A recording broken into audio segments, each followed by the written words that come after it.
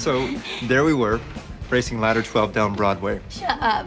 And I look over to Brock and I just knew this would be a birthday he'd never forget. Oh. How does that story end? Did you get the cat out of the tree? You got a problem, bro? No, no. Um, but neither do you, because according to my friends at Google, the number of fires has decreased 80% over the past 40 years. So, humour me. When was the last time you guys actually saw a fire? Don't answer that, Chet. So you think you could do our job, bro? Well, I'm not putting out a fire right now, so yeah, I'm doing your job as we speak. Wow, he's right. Firefighters don't do anything.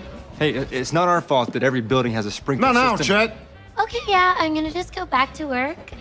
Way to just take down those firemen. Thank you.